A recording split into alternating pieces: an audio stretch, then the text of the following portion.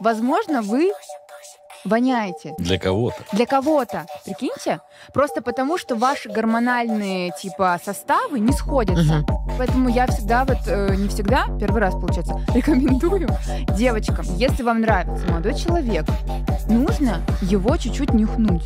Потому что, возможно, он хорош по всем показателям, но если он гормонально, его запах вам не нравится, это не ваш человек. А еще такое бывает, что находишься с человеком долго, вроде бы тебе нравится его запах, он какой-то родной.